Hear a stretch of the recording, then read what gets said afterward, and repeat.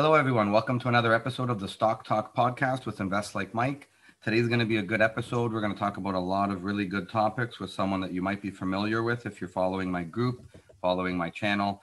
Uh, we're going to be interviewing Mark Loeffler today. How are you doing, Mark? Very good. How are you, Mike? Pretty good. Pretty good. Um, we're going to be going over a number of different topics with Mark today. If you followed our videos, we got a lot of good back and forth going on.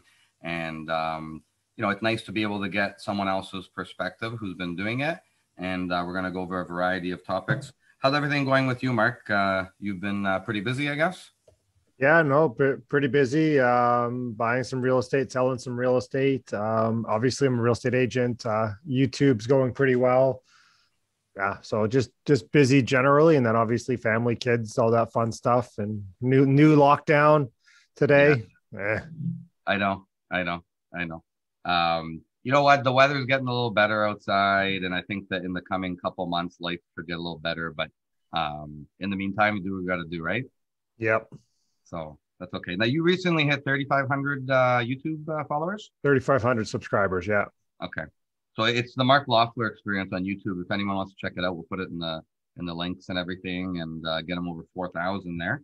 Yeah, the, um, the, the real goal for that, to be honest with you, is to get over eighty percent retention per per um, video. So that's on me to create better quality that people just want to listen to. So, yeah, no, that's good. That's good. And you've been uh, going at it really consistently and kind of fitting in these videos in between your busy, busy schedule too. Yeah, well, we did. We were doing um, three a week. Now we're taking it down to two, just to be able to provide more quality.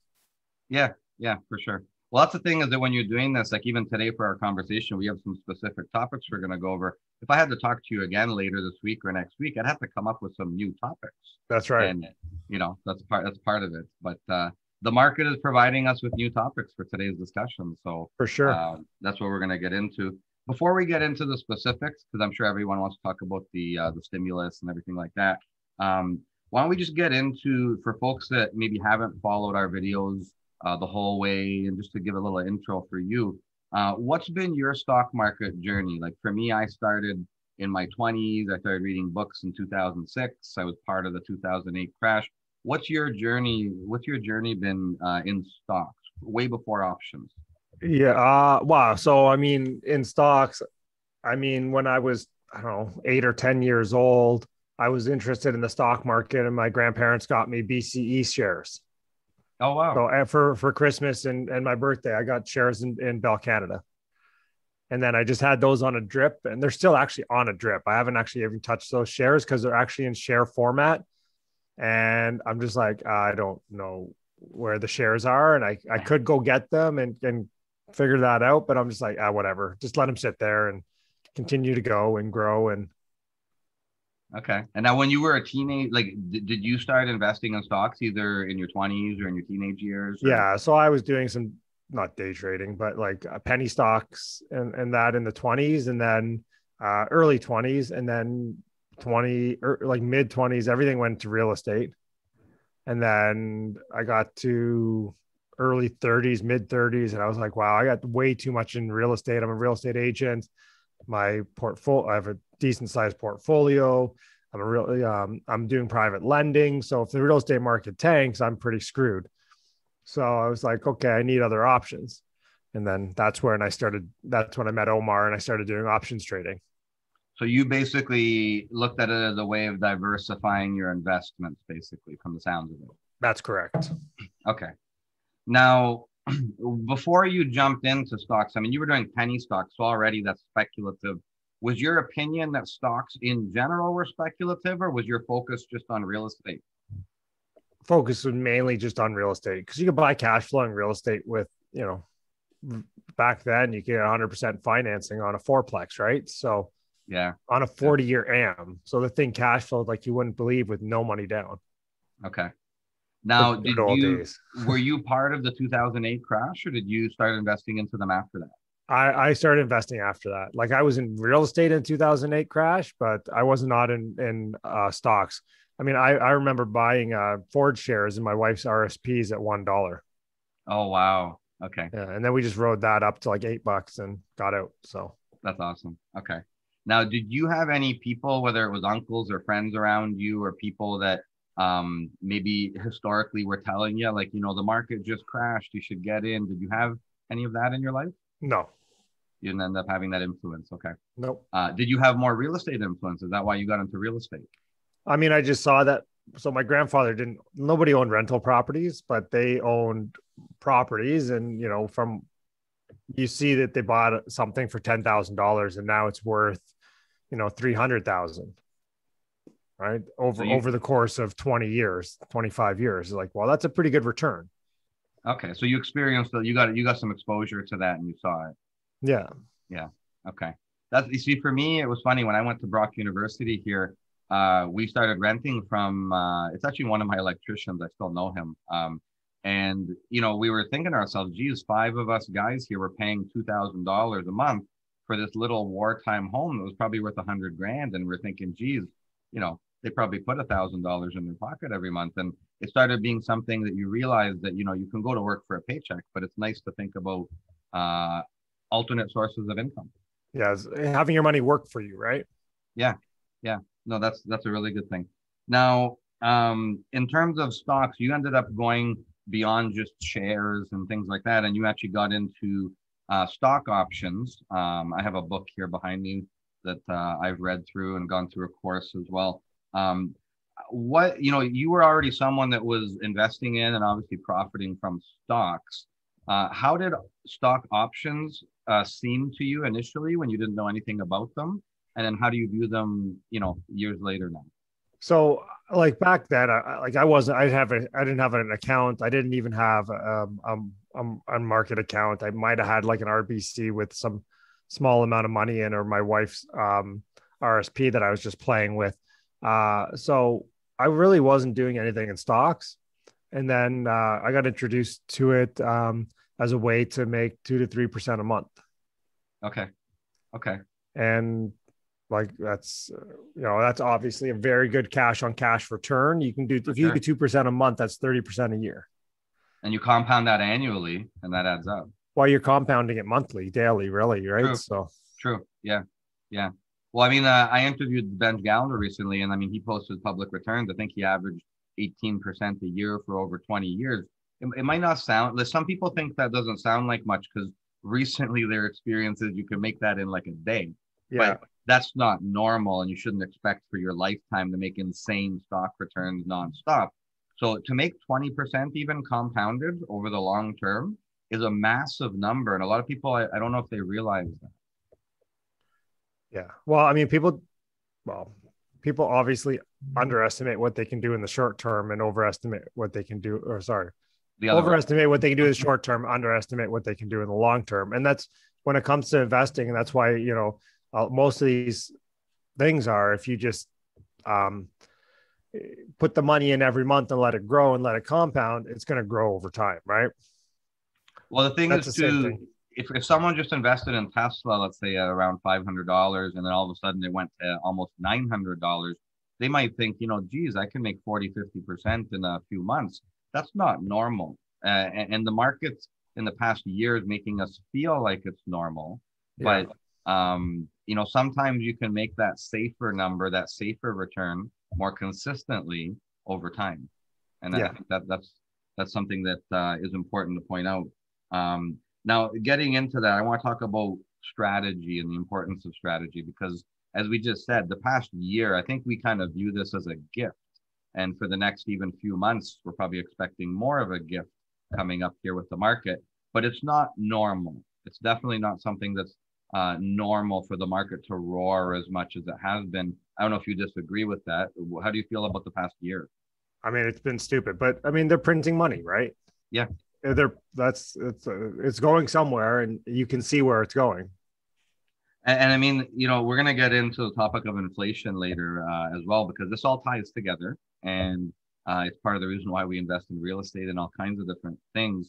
Um, now, in terms of strategy, um, beyond just you know buying things and holding them, so to speak, for no specific reason, uh, what do you what have you been doing in terms of strategy? Because we've had money printing, we've had COVID, we've had elections, we've had all these things going on. Uh, have you been kind of a spectator, or how how have you incorporated strategy into the investing? Um, so I mean, I was probably a naked put seller up until last last March, and then from there, I've become a buyer of calls. Um, I, will hold more stock now. Like uh, my my thing is, I'm probably forty percent puts, thirty percent long holds, where I'm just selling calls on them, mm-hmm. and thirty percent uh, buying calls. Okay, so you've diversified your your option portfolio. Yeah, and it, and it's more just for the simple fact that uh, I'm not a day trader. I'm not going to sit here and look at it every day. I'm not going to look at it like I, I maybe spend 10 or 15 minutes on it a day. Like I look at 930. Um, I do a couple things, and then again, I'm off doing other things, right? I'm living my life. I, I'm I'm not very good if I have to stare at a computer screen. So well, not, no. And you you know what? You have multiple streams of income. That's the other thing nowadays is that uh, it, you know if you rely on a singular job, that's fine. But it's just it seems like nowadays it's nice to diversify your income um, if you can, because you know something like COVID happens. Uh, I know a lot of student landlords. It's not that great of a time to be a student landlord right now compared to before. So what else do you have? Well, and, and, and that's what they were saying. Like that was the recession proof one, right? I, right. I never got into student land or student um, rentals just for this. I mean, I didn't, I always thought it was too much work, but well, they say it's re- recession proof because if times are bad, like 2008 in America, you go back to school to do something else now, right? So, yeah. um, but not when COVID happens because of, you know, anything with a large gathering shut down here in Canada. So, um, you know, you have to have some diversity, I think, in your income. And part of it can be stocks and stock options.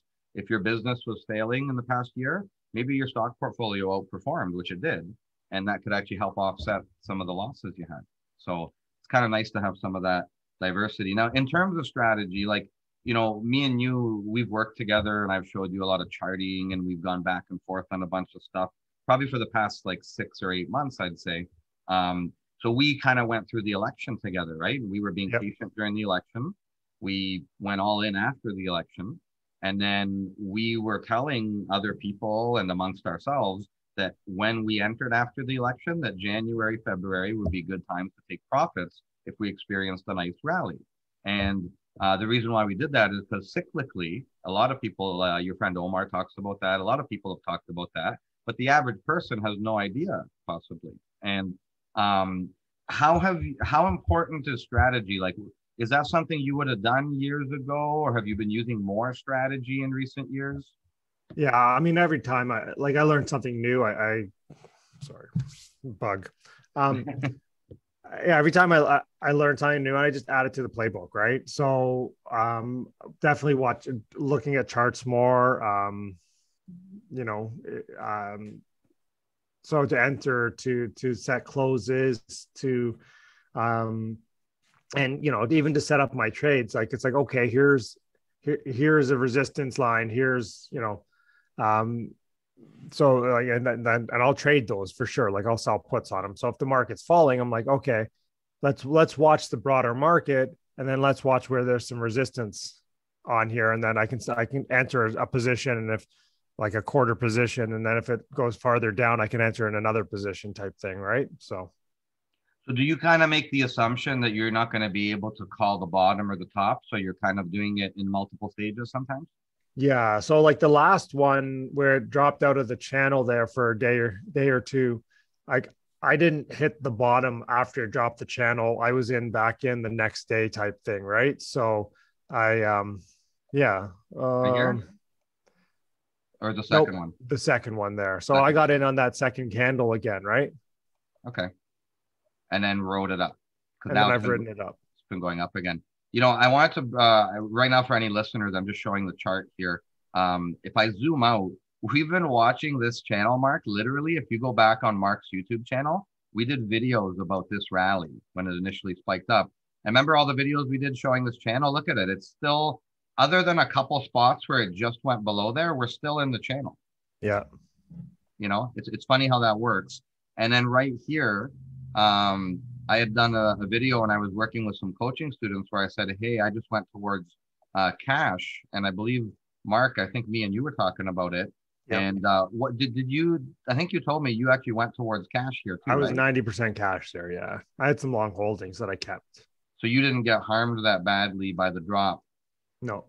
Okay. And then you got in and experienced some of the rally since then. What did you do when you, okay, so when the market kind of peaked out and me and you and some other people went to cash and we got lucky that it fell right away, it doesn't mean that we um, knew it would fall the next day or anything, right, Mark? But we, we got lucky that it dropped right away on and we were not fully in.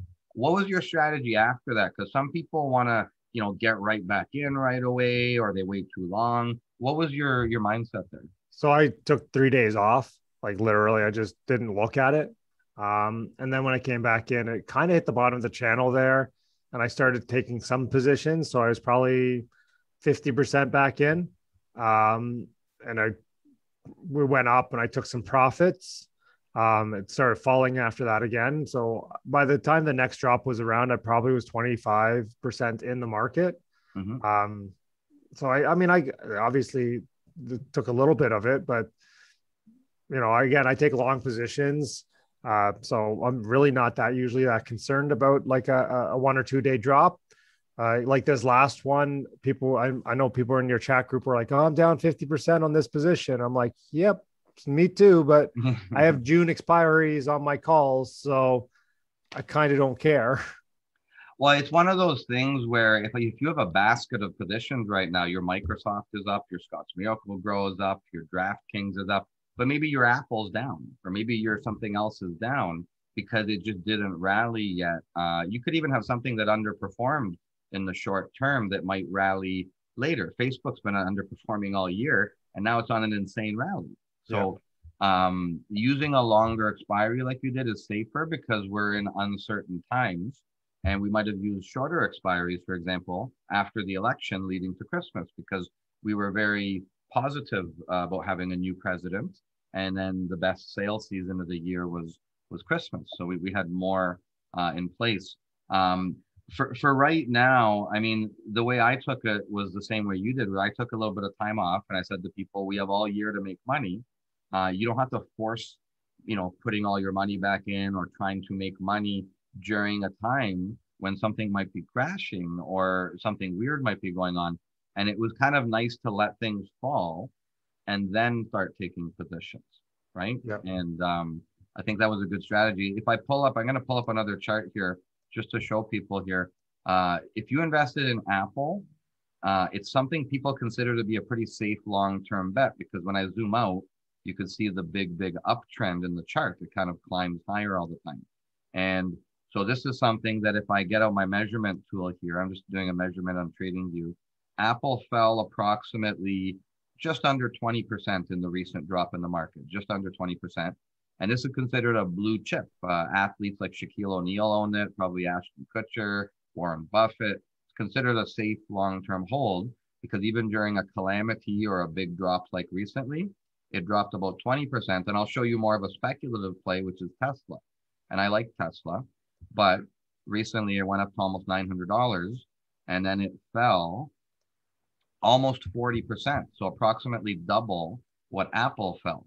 And that's what people talk about when they talk about blue chips and safety and speculative plays is choose wisely. If you go all towards Tesla and EVs and uh, speculative type stocks, well, get ready when they dip because they don't just go up aggressively, they can dip aggressively, right, Mark? Yeah, 100%. So it's one of those things. How do you mix that into your strategy? Do you do you take uh, uh, uh, more profits or profits sooner on a speculative play like Tesla, for example? How do you treat those? So, on any of my calls that I'm doing, it's typically I'm doing um, I'm doing twenty percent um, is my target uh, profit range on that. Um, and that's on any of the stocks to be honest with you speculative it's actually easier because they they you know i really need a 3% move or something like that up um, to, to make that happen 3 to 4% uh, but to be honest yeah and then so on uh, on options like if i'm doing uh sorry if i'm selling call or selling puts then i'm taking profits at like if i hit 30% in a day i take the profits so okay. i sell like i sold palantir this morning if it goes if it hits 30% today i'm out um, you know, and then regularly I'm just taking 50, like profits on 50%. Whereas typically on like something like an Apple, I, I'll hold it till 80.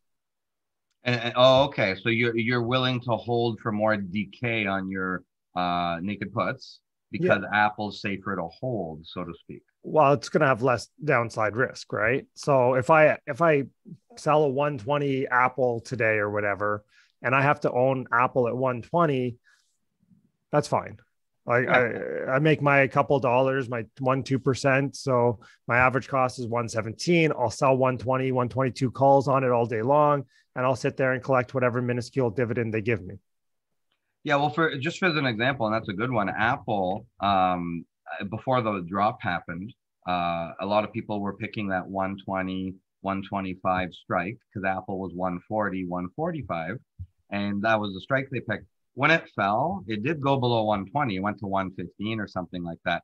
But if you really had to pay 120, even if it, even if the stock was 110 and you're paying 120, right? If you're at the end of that contract, at the end of the day, Apple is basically going to go above that again unless something fundamentally changes. So you, you feel confident with that company.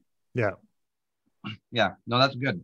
And even in March, when Apple fell towards 80 $90, it came back to 140 And um, it- it's a nice thing like that. With Tesla, if you sold puts at 750 or 800, you had to watch it go to 550 almost. Yeah. So I, I haven't um so I bought calls on Tesla when it hit 540 Okay. and then it bounced back up and I got out and I got the I got my rally up to 20%. Now if I had held it the next day because it went to like 650 or something, would have made a heck of a lot more. But you know, I made my money. I was happy, made my 20% in very short time. Like so if you can say that and you're out, why not? Right. Now, how do you how do you manage the emotions of that? Because a lot of people, if they if they were to get out of something, and then for the next two three days it goes up much more, you feel like, oh, I should have stayed in. Uh, but if you're in on something and it drops all of a sudden, and you didn't take your profits, you'll say to yourself, oh, I should have taken profits. How do you balance that out? Listen, I had over a million dollars worth of Tesla at around two dollars and ten, two hundred and ten dollars average price um, before the split. Right. So if I don't worry about that, I'm not going to worry about 50 bucks on a stock move or something like that. So like that's what 20 million dollars US right Oh, now. Like it- that's it- you Yeah. can't share- play those games, right? If you're going to play those games, you shouldn't be in. The share price, uh, from what Mark's saying, I believe they did a, a split. I think the stock should be worth two three thousand dollars if it was priced. It would be, I think it's like three thirty, three hundred right now. If that's, yeah. So it split, was yeah. 15 times. There you go. Okay. 15 or 16 times. Wow. Yeah. And I mean, that's the Cathie Wood approach. She's just been holding it, right? Um, Yeah. But so did, did you, have you just taken the approach that uh, stocks will go up after you sell them, or maybe they will go down, but you don't concern yourself with that? Once I'm out, I don't worry about it. Okay. It's like a new day. It's Now, like you- you're, you're, it's, if you're a golfer, you hit a bad shot, gives a shit. Next shot. Just worry about the next shot, right? Yeah. Yeah. The same, yeah. It's the exact same thing. Just worry about your next trade. Now, do you have, I know you said you split up your portfolio. So, for example, um, I own some Bitcoin and some stuff that I'm just kind of holding longer term. And I have some options I set up with longer expiries to hang on to longer. Do you have anything that you kind of just hang on to in terms of your options or shares or anything like that? So I got one company, it's called Ecom. But basically, I got those shares because the company I own, True Local, got taken over by it, and I've just bought more shares over the over the time. So Okay. I own a fair amount of shares of that, and I'm going to get more as buyouts come. Like there's a two year hurdle thing, so Okay. Um, now, when you see some companies make tremendous runs up, are you not so concerned with that because you're able to consistently make money the way you're making it, and you prefer that rather than hoping on a big rally? Because we, Yeah. you'll you'll will miss out on some big rallies if you're taking profits along the way, as you just said with Tesla, right? yeah, I, I I'm fine with that. You know, so Yeah. like um Okay. yeah. I I mean, if do I, I listen, if I can, if you can make thirty percent consistently, at the end of the day, that's all you need to do. I don't need to make 100, 200 percent a year. Right. Right. I mean, if you if if if you got ten thousand dollars in the market, learn how to trade and get, you know, three thousand or thirty percent consistently, twenty percent consistently. If you can do that, you're going to win long term. And then you just keep adding money in. I tell people that every day. You know, put ten thousand dollars in your trading account, learn, and then every month add how much you can add a thousand dollars add five hundred dollars whatever that is just keep adding that money in so it grows over time. And the nice thing is too that um you know we don't know when some bad news article will come out. Visa the other day some lawsuit came up and they started tanking. I mean who knew that was going to happen? Oh see um, when, when that when stuff like that happens i usually do trades on them for sure because it spikes volatility. I'll sell puts at a, at a resistance level support level um, yeah. Yeah, and the thing is too that because we've seen it so often where you know a rally will go up and it'll fade and then sometimes it'll go up more, sometimes it'll drop more. You can't really pick a top, so to speak. And because of that, if you don't exit for profits at a certain point, you have to create your own system and your own threshold. If you don't do that, you literally don't have control. You're at the mercy of the market. And the way you're doing it, you're saying if I hit that 20, 30% mark, I'm now controlling my investment and I'm taking that profit. Yeah. Right. So I think that that's a way to actually have more control of the investment. And if you miss out on a rally, guess what? You'll find another opportunity like Visa recently. They're, they're like buses, right? Another one will come along in a couple minutes. Yeah, exactly. Exactly. So I agree with all that. I mean, I think that's why I wanted to go over strategy because strategy is very important and even just the way that people handled the recent dip. Uh, if you weren't preparing to be holding some cash or taking profits after that big rally we had for about three months uh, in a row, then you're at the mercy of the markets, right? And we were actually, when we entered after the election in November, our plan was always to be exiting in the new year because, like you just said, another bus always comes along. Yep. Right. So that's uh, that's a good way to do it. Um, okay. Now, let me let me ask you a question because uh, a lot of people started investing after the COVID drop, and uh, Dave Portnoy from Barstool Sports. There's celebrities on CNBC that have trading accounts and they're publicly trading. Everyone's doing it now. There's Robinhood uh, trading. People are buying fractions of shares now, putting their stim- stimulus checks into the. I think they're hmm. calling it their stimmy. Uh, they're they're putting their stimmy checks in there. Is that so, what they call it? I'm not. I'm not down. I'm not down with the lingo. apparently it's a stimmy. Um, All right. So, uh, and then there's stonks. I think I don't even know. Stonks. Yeah, I know about stonks. Yeah.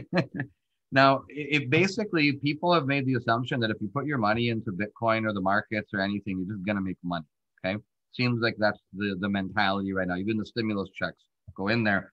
It seems like it basically it's too good to be true. Um, if you're a long-term investor and you've been through a bunch of ups and downs, that just sounds silly to assume that it will always go up. Uh, how do you how do you feel about that? Because with real estate, people use that analogy, but in Canada, we haven't had a really meaningful dip since I think 1990, unless you live oh. in Windsor. So, well, I know you're thinking about Ontario.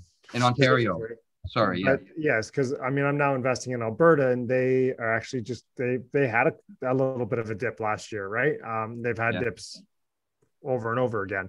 Yeah. Um, because of boom and bust economy, a little bit more. Because um, oil. Yeah, oil. Yeah, oil. Yeah.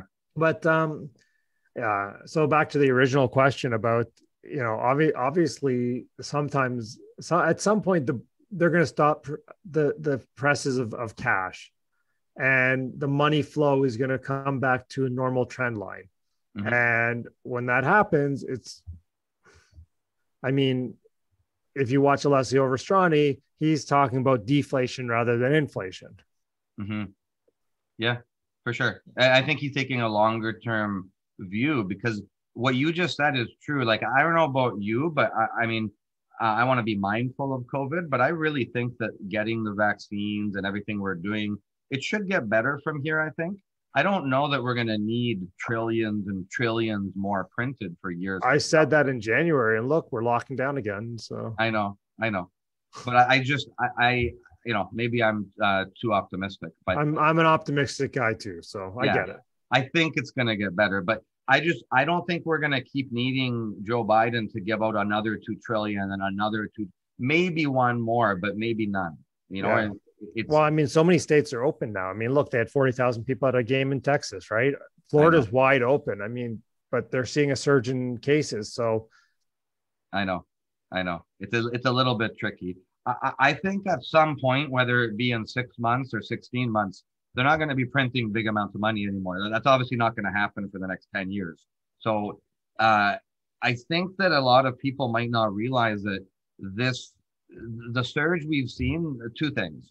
Uh, the market dropped a lot initially in March, so already you have a lot of ground to make up because it just crashed, right? Well, was it? Then, I think it was the biggest, the quickest drop ever. Ever, the quickest ever. drop in history. Yeah. Uh, a lot of people don't realize that the 2008 drop started in late 2007 and it did not complete until March of 2009. It was almost a year and a half. And um, the recent the recent drop in March last year was only a, a few weeks. Yeah. Right. So, um, but I think that the reason why we've had such a ferocious rally is because we dropped so much. We had to make that back up.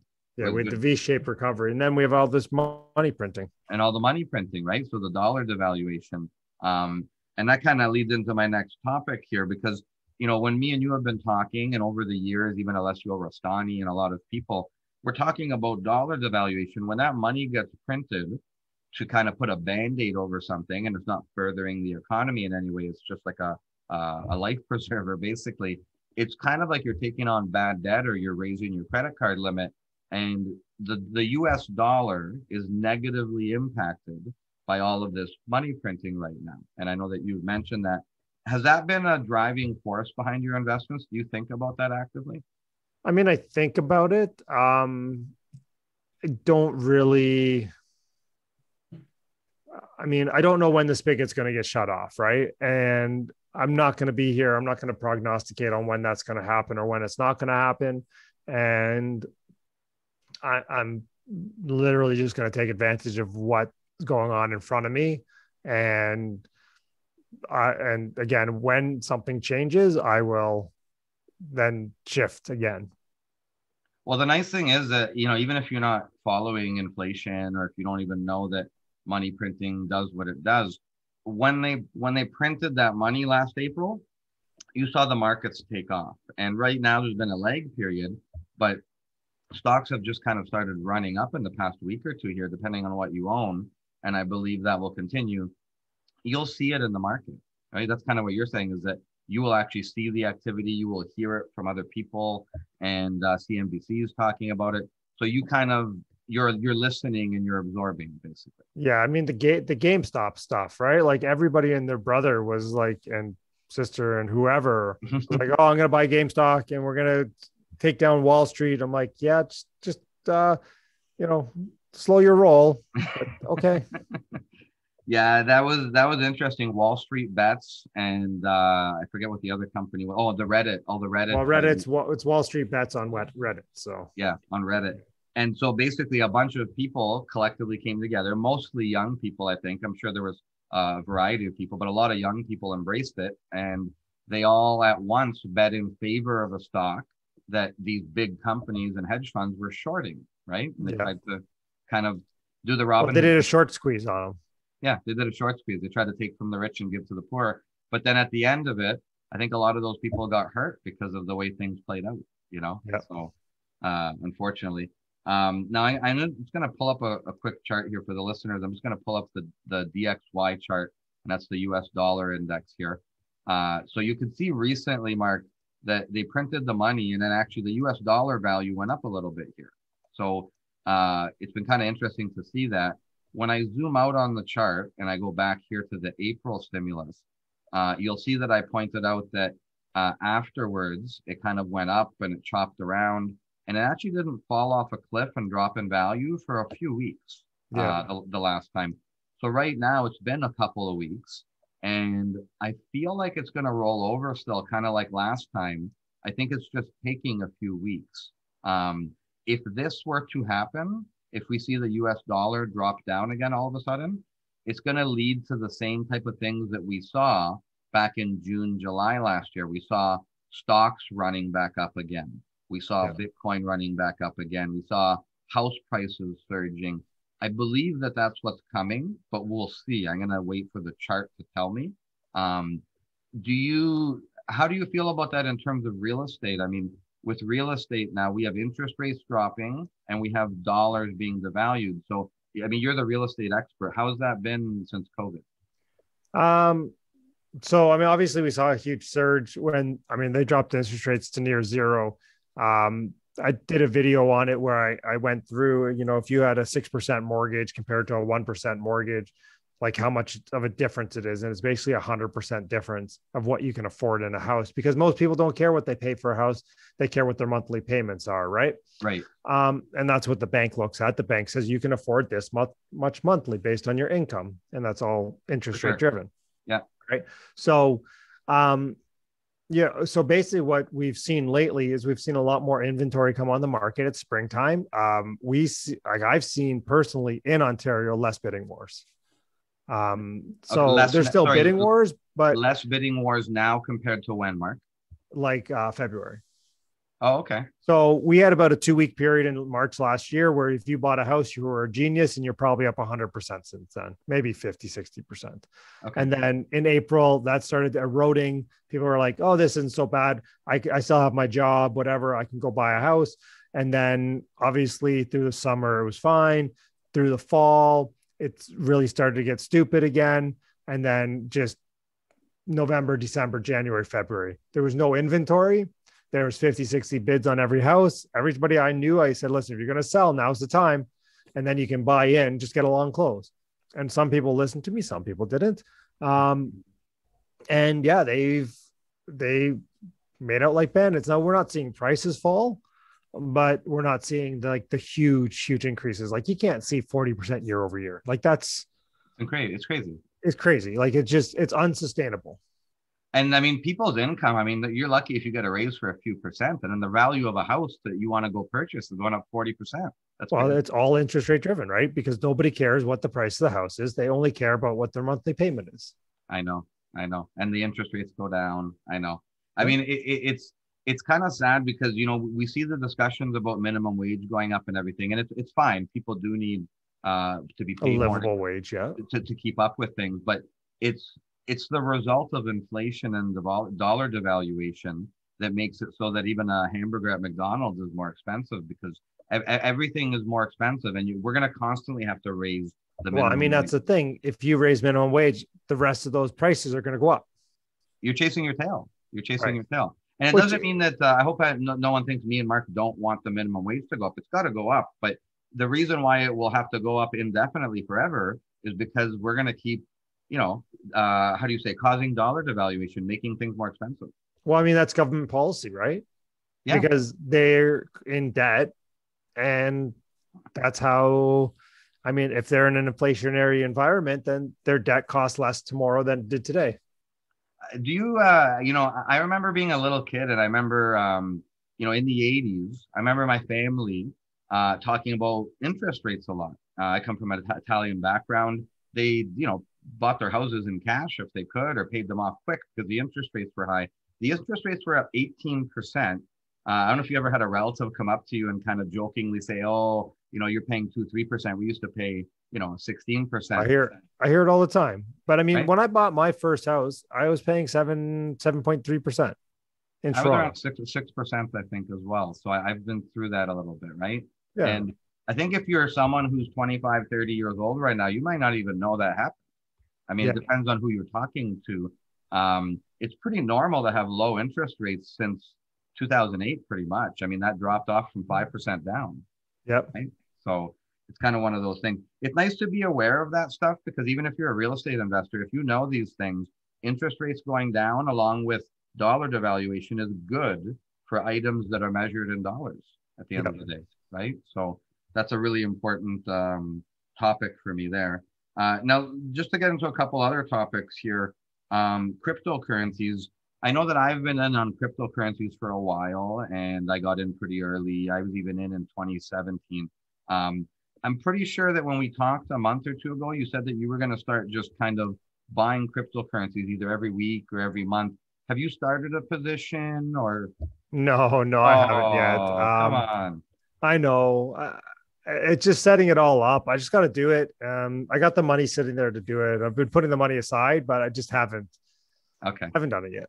Now, do you want uh, do you want to buy actual cryptos? Because you could have bought like uh, Grayscale Bitcoin Trust or something like that. Oh, I, I mean, I've been doing Mara and um, Riot and Can and those ones the whole Okay. time, right? Well, at least since Riot was ten dollars and Mara was eight dollars, right? So, um, Okay.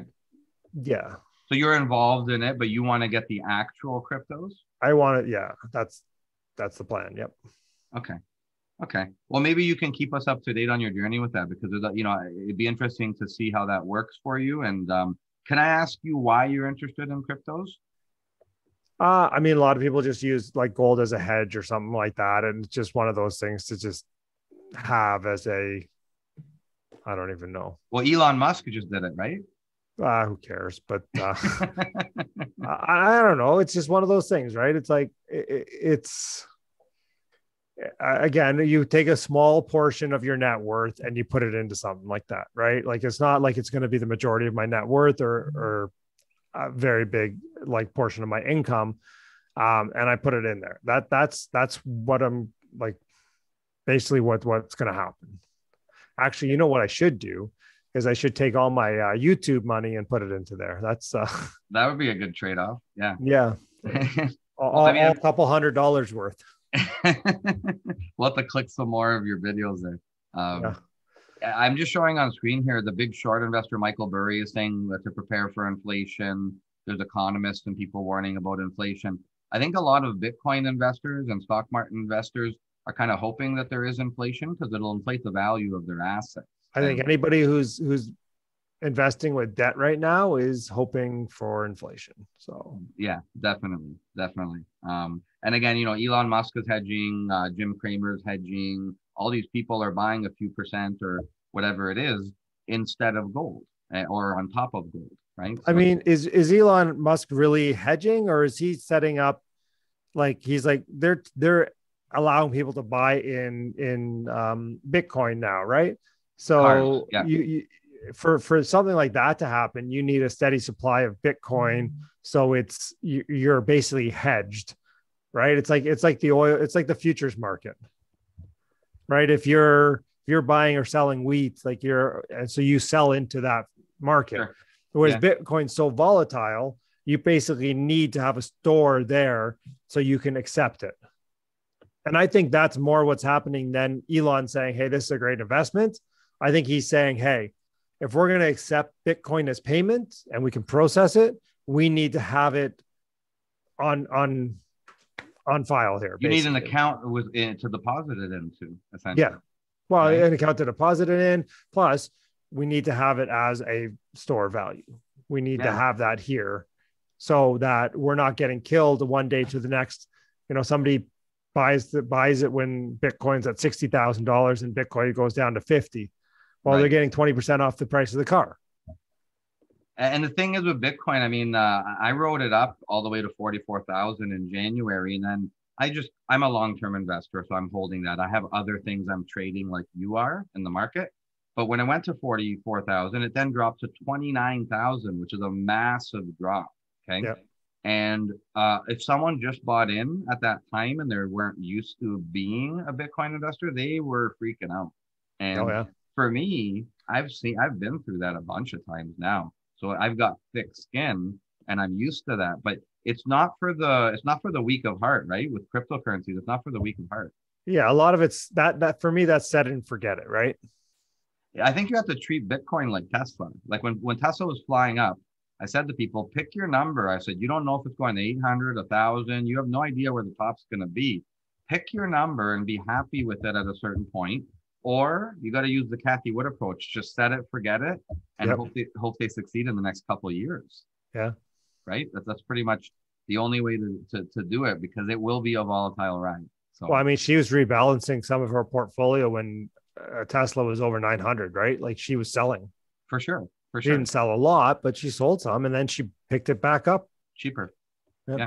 Much cheaper. Much cheaper. Yeah. So, uh, one other, one other thing I want to touch on with you, and I don't know how much you looked into it, but I mean, just as a spectator of CNBC and stocks, um, I want to talk about NFTs. And it might be a subject that some people listening might say, what the heck is that? And in 2017, no one knew what Bitcoin was. Uh, do you know, first of all, do you know what NFTs are? Very preliminary. I, I have no idea, really. It's like art people are paying millions of dollars for. I don't, that's, that's digital. Is that correct? Yeah it's it's it's digital so i had a friend of mine um contact me uh, two three weeks ago and uh, he started. He's an artist. Okay, he has one of those tablets where it's set up on an angle like a drafting table, and he is an artist. He actually draws on them, and then you can print off or digitally view your art. You don't have to paint like Picasso on canvas anymore. It's digital if you want. And so there's people that have the ability to say, I created this piece of art. Mark, you can buy it from me for a thousand dollars, and now you own my art. Okay. Mm-hmm. And they send it to you in the same way that I might send you a, a Bitcoin. So it's it's a secure transfer of the art, and you get my art and you own my art. Okay. So in that way, it actually kind of makes sense. I guess if you if you want digital art, you're gonna buy it digitally and safely, right? But then what they're doing is you can you can buy uh, a dunk of LeBron James dunking the basketball, okay, and it's like a really good dunk, but someone recently paid two hundred and eight thousand dollars for LeBron James dunking a basketball. And essentially, what you get uh, for viewers here, I'm just showing Mark on the screen. Um, you get this thing on your phone or your TV. It looks like this cube that rotates, kind of like the big overhead uh, box at the center ice of a hockey game. And on one side, you see the dunk video. On another side, you see the Lakers logo. And it's this digital kind of hockey card or whatever you want to call it. And to me, I don't get that because when I go on YouTube, I can watch that dunk a thousand times and pay zero dollars for it. And there's probably championship DVDs that have the dunk on it. I don't I don't know if I'm just an old man and I don't get it. Well, yeah, I mean that that's I'm I'm older than you, so I, I get it less. I didn't even know that. I don't, I don't follow it. I mean, some people post in a group that I'm in that people are doing it or whatever, but uh, it's fine. I listen. I'm I'm not a big art collector, anyways, so uh, I, am I'm, I'm even less for on the NFT front. So, well, I'll, I'll tell you one thing. The reason why I bring it up is just because it's not something everyone's talking about. The same way I was talking about Bitcoin four or five years ago. And I'll tell you, like I'm posting in my group about it. I don't. I'm not invested. I'm not buying a dunk video. I'm not doing any of that. But you know, I do think it's going to keep going up. And even though I think it's silly, I used to think cryptos were silly too. And at the end of the day, I'm seeing Michael Jordan started investing recently. Uh, Paris Hilton sold a bunch of stuff. The Weeknd, who's a very popular artist, he just Canadian. sold. He just sold some unreleased music, some brand new music he made. Some guy just bought it for 2.5 million right from him. Uh, does he have the rights to then distribute it? Is that I don't know, but it's he's on record. Maybe, maybe he had to split it with the record company, but 2.5 million dollars for unreleased songs. He didn't have to market them. There was no advertising, no touring, no interviews. He just sold it for 2.5 million. Uh, Kings of Leon, they're selling their album using. They'll send it to you on a crypto. Um, you have Ashton Kutcher and Mark Cuban who have been on Shark Tank. They're doing an NFT Shark Tank. So on April 21st, I saw that. Yeah. Was that gonna, you posted that on your group? I posted it, right? Like, and so they're going to let you pitch all your ideas of NFTs to them. And then they're going to invest in a bunch of them and make money uh, selling NFT. NFT means non fungible token, which yeah. basically means a crypto. And they're sending you these things. So they're thinking, you know, Pearl Jam might sell concert tickets this way. WWE may, might let, let you watch a video of uh, Hulk Hogan slamming Andre the Giant or something, but you might have to pay a half a million dollars for it. And apparently, Marvel and Star Wars, uh, all these companies, uh, apparently M- MLB and NFL are already lining up because it's only the NBA so far. Even though I think it's silly, I just wanted to talk about it because I think it's something we're going to be talking about more. Fair enough. So we will see. We will see. Um, Anything else you want to talk about, Mark? Did you want to maybe give us? Uh, I saw you post the other day. Check out the Mark Loeffler experience uh, on YouTube. There, are you? You're going to buy 200 units this year? That's the goal. How are you so going to do from that? end of March till December? We're gonna, I'm going to buy 200 units. Um, combination of Alberta and the US. And well, if I can find something in Ontario, I'll buy in Ontario too. I'm not discounting that. It's just it's getting tougher to buy here. So uh yeah, I don't know. Now, did you um are you focused? I know you just recently took a trip out to I think Calgary. Um, uh, uh, Edmonton, in Calgary. Yeah. Edmonton and Calgary. Are you focused on that region for a specific reason? Is that is that something that is a long term plan for you? I mean, so it's a boom bust economy. I think they're just coming out of the bust. Um, Uh, and that's yeah, and that's really and that that and the fact that their landlord tenant rules are way better than ours. So. Is part of the reason why you want to invest too because uh, you know with the covid shutdown oil usage went way down the price of oil went way down. Are you kind of saying well you know real estate's a long-term investment.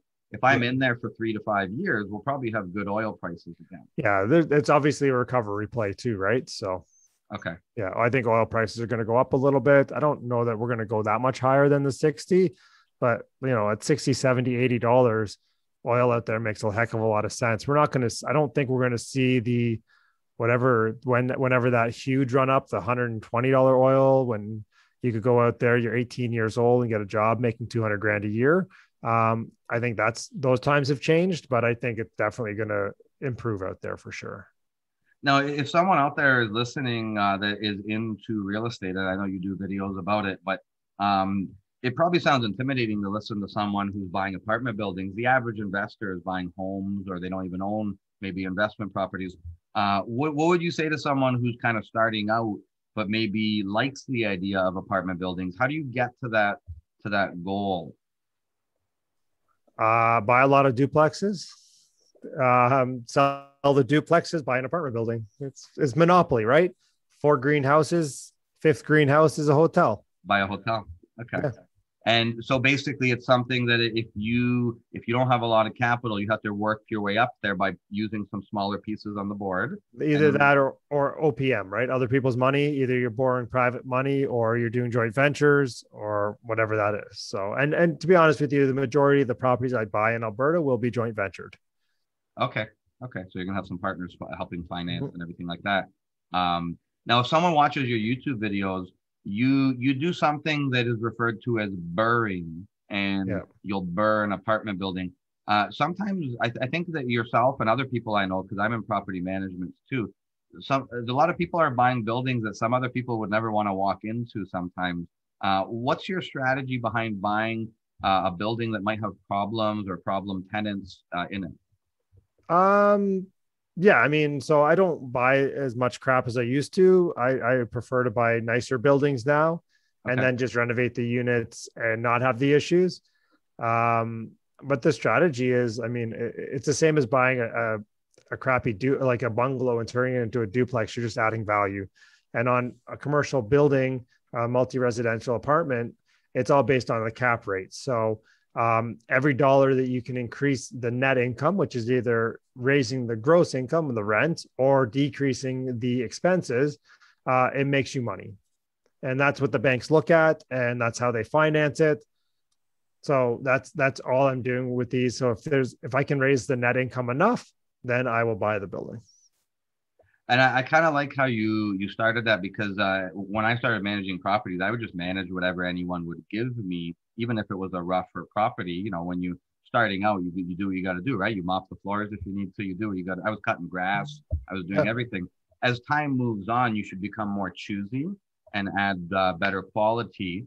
And typically, you'll have more experience at that point, more connections, and um, you know maybe even a team of people behind you helping you out, which is the case probably with you there. So it's nice to have that progression and to find out what should I be targeting? What should I be avoiding? And you you you learn that through experience. Yeah. Right. Yeah, and you it's the same thing with options, right? You you change your strategy over time sometimes. Yeah, for sure. Well, you evolve. you get more mature. The recent Tesla drop, like I said, it dropped double what Apple dropped. If someone loved Tesla before, they might you know think a little differently on how they're going to view it going forward because maybe they didn't experience a 40% drop before right yeah so it's one of those things okay well, listen, thanks for taking the time with me here. We went over a lot of topics here. Um, hopefully, in the next month or two, we're going to experience a nice rally up. Yeah, and uh, nice. if, if the market goes up for two or three months in a row, let's not be shy to keep some cash on the sidelines. I think at that point. Yeah, for sure. Right. So we're we're getting back to that point again where I'm probably going to sit on some cash because we're I'm looking at that 4100 mark on on uh, the S and P, and uh, that's that's I'm going to start going to cash at that point. So Okay. Well, that's uh, you know, there's going to be what do they say? It's a staircase on the way up, right? So, yep. Uh, it's not going to go up in a straight line. And some people feel stocks have already gone up and they've missed out. I don't necessarily agree with that. I think we're gonna we're, we're gonna still keep moving uh, right now. I think we're still gonna stay in that bull trend. I do too. Actually, if you look at my group recently, Tom Lee from uh, CNBC said we're going to go on a face ripper rally, and there's a lot of people expecting uh, the stimulus will have an effect on the market. It's been, you know, pretty tame up until a week ago, and Yeah. now I think we're going to go into the real rally here. So Perfect. Let's do it. let's do it, right? So, okay, Mark, thanks for coming out, and uh, enjoy the rest of your week over there. Okay. All right. Thanks, Mike. Okay. Take care.